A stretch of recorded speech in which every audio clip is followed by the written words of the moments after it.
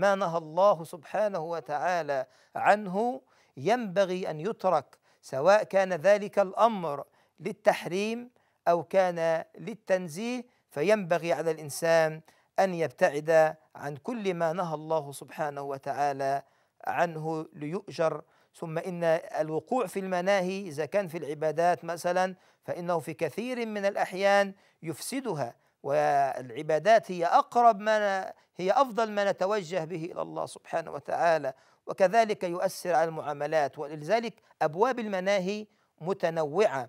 فمنها ما هو في أبواب التوحيد منها ما هو في أبواب العبادات منها ما هو في أبواب المعاملات ومنها ما هو في أبواب الآداب والأخلاق. فينبغي علينا أن نسعى إلى معرفة هذه المناهي لكي لا نقع فيها. ونبدأ أيها الكرام المؤمنون بالحديث عن المناهي في أبواب التوحيد. فالتوحيد هو أول ما يجب على العبيد وأول ما يجب على الإنسان أن يسارع إلى ضبطه وإلى عدم الوقوع في أخطاء تؤثر على كمال التوحيد فضلا عن أنها تؤثر على التوحيد لله سبحانه جل في علاه. فلا يصح بالإنسان أن يقع في أخطاء تؤثر على إفراد الله سبحانه وتعالى بالعبودية على إفراده لله بالعبودية أو في أخطاء تؤثر على تعظيمه لأمر الله واعتقاده في أن الله هو مدبر المدبر لشؤون العباد فينبغي على الإنسان أن يحذر من ذلك. لذا يتحدث عن أبو المناهي في أبواب التوحيد نبدأ بها ثم بعد ذلك نأخذ الأبواب المتعلقة بالمناهي تباعا فيما يتعلق في الآداب والأخلاق ثم بقية أبواب الشريعة التي ورد فيها النهي. وأسأل الله سبحانه وتعالى أن ينفعنا بذلك وأن يجعله يعني زادا لنا يوم لقاه. فأول شيء في المناهي التي تخص أبواب التوحيد النهي عن الكفر بالله سبحانه جل في علاه. فإنه الله سبحانه وتعالى نهانا عن ذلك. فقال سبحانه وتعالى في شأن هذا الأمر ولا يرضى لعباده الكفر قال سبحانه إن تكفروا فإن الله غني عنكم ولا يرضى لعباده الكفر فالله لا يرضى لعبده أن يكفر بربه سبحانه جل في علاه.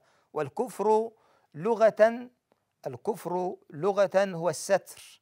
لو كأن ذلك الإنسان الذي وقع في الكفر والعياذ بالله قد ستر على فطرته بجهله بربه سبحانه جل وعلا وبسفاهته فإذا لأن كل مولود يولد على الفطرة كما بين لنا رسول الله صلى الله عليه وسلم ما من مولود إلا ويولد على الفطرة فأبواه يهودانه أو ينصرانه أو يمجسانه. فلذلك الإنسان الذي كفر فإنه يغطي على فطرته بهذا الذي وقع فيه. وهو الكفر في الاصطلاح بعد ذلك هو أن يقع الإنسان في أمر في أن يجحد الإنسان امرا معلوما من الدين بالضرورة أو يقع في نواقض من نواقض الإسلام فهذا الكفر الأكبر كأن يقع في التكذيب لله وفي التكذيب لرسول الله صلى الله عليه وسلم يجحد معلوما من الدين بالضرورة. فهذه الأمور تؤثر على الإنسان بذلك وتجعله يقع في تجعله يقع في الكفر والعياذ بالله. فلذلك ينبغي على الإنسان أن يحذر من ذلك وأن يعلم خطورة هذا الأمر. لكن ينبغي أن نعلم أن الكفر على نوعين وأن النصوص التي ورد فيها كلمة الكفر لا أحيانا يقصد بها الكفر المخرج من الملة واحيانا يقصد بها الكفر الأصغر وهو كفر دون كفر. وينبغي على الإنسان أن يراعي ذلك لأن هذه المسألة ضلت فيها أفهام وضل فيها أقوام. وابتعدوا بها عن الجادة. فلذلك ينبغي الإنسان أن يعلم أن هناك كفر أكبر وهو الذي تحد يعني تحدثنا عنه منذ قليل. وكذلك في نفس الوقت هناك كفر أصغر وهو هذا الكفر الأصغر هو الذي لا يخرج من الملة إنما هو كفر دون كفر. لذلك بوب الإمام البخاري في صحيحه عليه رحمة الله بقوله في كتاب الإيمان من صحيحه باب كفران العشير وكفر دون كفر.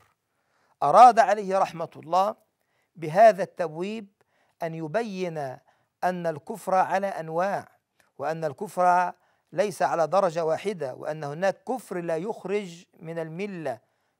فمثلا هناك آه، قد يطلق كلمة الكفر في الشرع على كفران العشير. وعلى كفر الإحسان وعلى كفر النعمة نعمة الله سبحانه وتعالى أو أو كفر نعم إحسان الأشخاص. فهذا أيضا من معاني الكفر الواردة في الشريعة الإسلامية. ولذلك قال رسول الله صلى الله عليه وسلم اثنتان في الناس هما بهم كفر الطعن في الأنساب والنياحة على الميت. هذا المقصود أنه من خصال الكفر. وليس المقصود كفر مخرج من الملة أي أن ذلك من خصال الكفر. وكذلك قال الله سبحانه وإن طائفتان من المؤمنين اقتتلوا فأصلحوا بينهما. إلى قوله سبحانه وتعالى إنما المؤمنون إخوة فأصلحوا بين أخويكم. فأثبت الأخوة للطائفتين. فتبين من هنا أنه قد يقع اقتتال بين طائفتين من المسلمين دون أن يقع في الكفر. ومن هنا يتبين أن الكفر على مراحل. ولذلك قول الرسول صلى الله عليه وسلم سباب المسلم فسوق وقتاله كفر ينبغي أن يفهم في ظل هذه الآية. وإن طائفتان من المؤمنين اقتتلوا فأثبت الإيمان للطائفتين. فلذلك قتاله كفر معناه أنه من خصال الكفر.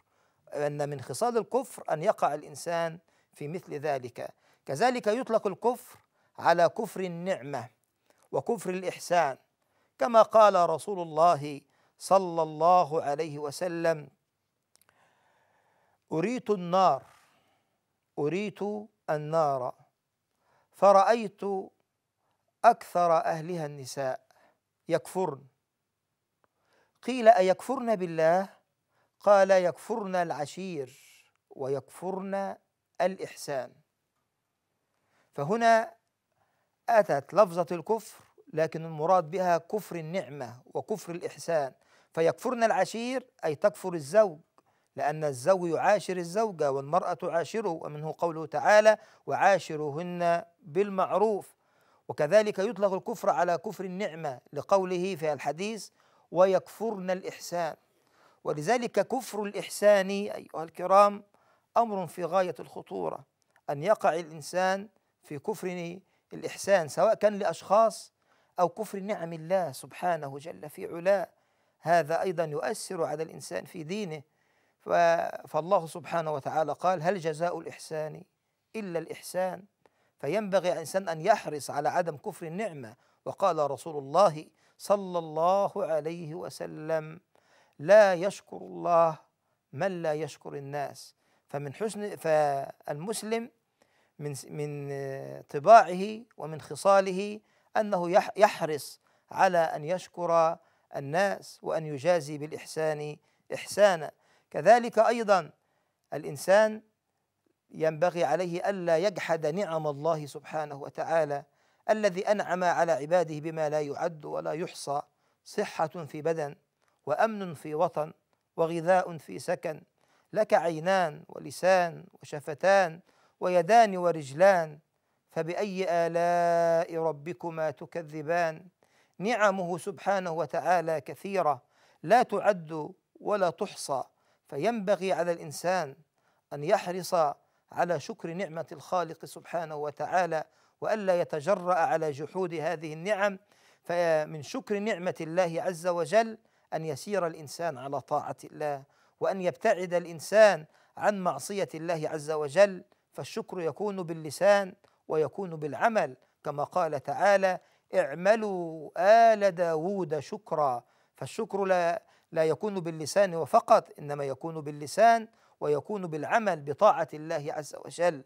والله سبحانه وتعالى ضرب لنا المثل في كتابه الكريم ليبين لنا خطورة عدم شكره سبحانه وتعالى في قصة قوم سبأ فقال سبحانه وتعالى لقد كان لسبأ في مسكنهم آية جنتان عن يمين وشمال كلوا من رزق ربكم واشكروا له بلدة طيبة ورب غفور فأعرضوا فأرسلنا عليهم سيل العرم وبدلناهم بجنتيهم جنتين ذواتي أكل خمط وأثل وشيء من سدر قليل.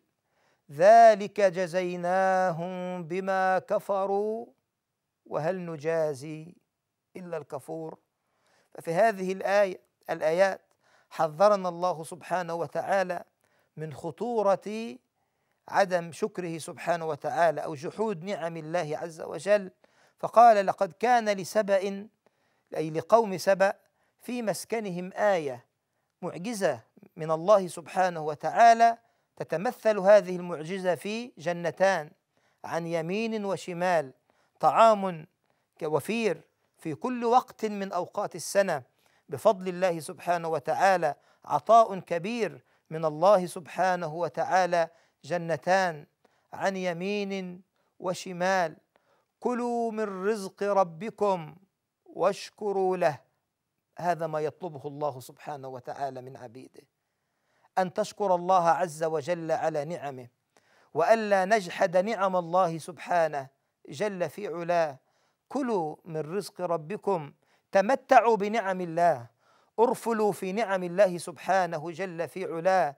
وإذا بكم اشكروا هذه النعم اعترف بنعمة الله عز وجل واشكر نعمة الله عليك. تجد الخير الكثير من الله عز وجل وتدوم النعم بفضل الله عز وجل. وإذ تأذن ربكم لئن شكرتم لأزيدنكم. فالإنسان الذي يريد زيادة النعم وثبات النعم عليه عليه أن يشكر نعم الله سبحانه جل في علاه وأن يبتعد عن جحود نعم الله عز وجل الذي حدث مع قوم سبأ أنهم أعرضوا عن شكر نعمة الله والعياذ بالله. فأعرضوا فأعرضوا. أعرضوا عن ماذا؟ أعرضوا عن شكر نعمة الله عز وجل. فكان العقاب من الله سبحانه.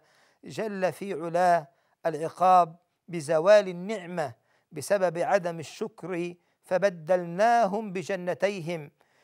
جنتين ذواتي أكل خمط وأثل وشيء من سدر قليل. أي بدلوا بالجنات بالجنتين التي فيهما ألوان من الطعام والخيرات. بجنتين ذواتي أكل خمط طعام مر لا يؤكل ولا ينف ولا ينتفع به الإنسان. وأثل شجر يثمر حبوب صغيرة لا تؤكل وشيء من سدر قليل. فإذا بهم بدلت بهم الخيرات وبدلت عليهم النعم والعياذ بالله بسبب ماذا؟ بسبب أنهم جحدوا نعم الله سبحانه جل في علاه وابتعدوا عن شكر نعمة الله عز وجل فعوقبوا بذلك والعياذ بالله. فلذا قال الله سبحانه وتعالى ذلك جزيناهم بما كفروا. وهل نجازي إلا الكفور؟ يعني هل يقع المجاز هل تقع المجازاة إلا على الكفور؟ فمن هنا يتبين أنه أن المعاملة تكون على حسب حال الإنسان فينبغي على الإنسان أن يحرص على أن يعمل الخير فالجزاء دائما يكون من جنس العمل. الجزاء دائما يكون من جنس العمل. فلا ينبغي على الإنسان أن يقع في مثل هذا. ليس هذا وفقط الذي وقع في قوم سبأ لأن هذا الأمر خطير. مسألة عدم شكر نعم الله سبحانه جل في علاه. إنما الذي وقعوا فيه أيضا هو أكثر من ذلك أنهم تمنوا زوال النعمة. بدلا من أن يشكروا النعمة التي أعطاهم الله إياها وحباهم الله سبحانه وتعالى بها فإذا بهم تحولوا إلى أن بعد ان لانهم بعد ذلك تمنوا زوال النعمة والعياذ بالله. فكما قال سبحانه وجعلنا بينهم وبين القرى التي باركنا فيها أي القرى التي يستجلبون منها الخيرات ويأخذون منها الخيرات وهي قرى الشام قرى ظاهرة أي محطات. للسير يستريحون فيها من عناء السفر. تخيل الإنسان لما تكون عنده في أثناء السفر طريق آمن الطريق فيه محطات كثيرة للسير فإذا به يحصل على أمن الطريق فإذا به يطمئن وإذا به يعني لا يتعرض إلى قطع الطريق فيستطيع أن يسافر في أي وقت ويستجلب الخيرات. فماذا كان منهم؟ قالوا ربنا باعد بين أسفارنا. هل من المعقول أن يصل الحال بالإنسان بدا من أن يشكر نعمة الله سبحانه وتعالى أن يصل به الحال إلى أن يجحد النعمة ثم بعد ذلك يتمنى زوال النعمة من عليه؟ لماذا يكون الأمر كذلك لكي لا يستطيع أن يسافر إلا أولو القوة وأولو البطش؟ فإذا بهم تكون لهم سطوة على قومهم فيستجلبهم فقط للخيرات ليحموا أنفسهم. فلما فعلوا ذلك هذا التمني ظلم للنفس لأن الله إذا حباك بنعمة ينبغي أن تشكر الله سبحانه وتعالى عليها. فإذا بهم ظلموا أنفسهم بذلك وظلموا أنفسهم فجعلناهم أحاديثا ومزقناهم كل ممزق. إن في ذلك لآيات لكل صبار شكور. أصبحوا مثلا سائرا يقال تفرقت بهم أيادي سبأ بسبب أنهم بسبب أنهم وقعوا في هذا الخطأ العظيم وأنهم جحدوا نعم الله ثم تمنوا زوالها. فمن هنا يتبين أيها الكرام أن الإنسان ينبغي عليه أن يحذر من كفران النعمة.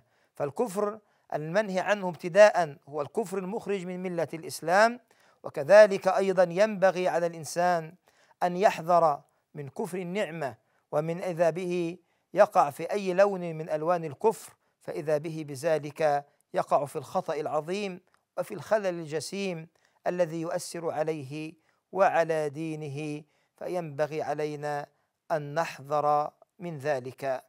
كذلك أيضا من المناهي الواردة في أبواب التوحيد الشرك بالله سبحانه وتعالى النهي عن الشرك. قال الله سبحانه وتعالى إن الله لا يغفر أن يشرك به ويغفر ما دون ذلك لمن يشاء. إن الله لا يغفر أن يشرك به. العلماء يقولون أن يشرك مصدر مؤول يعني معناها لا يغفر شركا به. فينبغي على الإنسان أن يحذر الشرك بجميع أنواعه وبجميع تفاصيله. فإن الإنسان الذي يقع في مثل هذه الأمور إذا به يعرض نفسه إن مات بغير توبة ورجعة إلى الله سبحانه وتعالى إلى العذاب المهين بين يدي الله. إن الله لا يغفر أن يشرك به ويغفر ما دون ذلك لمن يشاء. إذا ما سوى الشرك يغفره الله سبحانه وتعالى. وهذا طبعا في حق من مات بغير توبة في حق الإنسان. إذا مات بغير توبة من الإنسان إذا تاب آه، قبل مماته فالله يتوب على من تاب. الإنسان إذا تاب فإن الله سبحانه وتعالى يتوب على آه، الإنسان إذا تاب. فالله يتوب على من تاب فمن تعرض للشرك ولم يتب منه فإنه بذلك يعرض نفسه للخسران المبين والعياذ بالله. أحبتي في الله للحديث عن المناهي الشرعية في أبواب التوحيد بقية ونكتفي في هذا اللقاء بهذا القدر ولنا تتمة مع المناهي الشرعية في أبواب التوحيد. أسأل الله جل في علاه أن يتقبل منا ومنكم صالح الأعمال وأن يجنبنا الخطأ والزلل وأن يتقبل منا ومنكم. إنه ولي ذلك والقادر عليه. وسبحانك اللهم وبحمدك أشهد أن لا إله إلا أنت أستغفرك وأتوب إليك.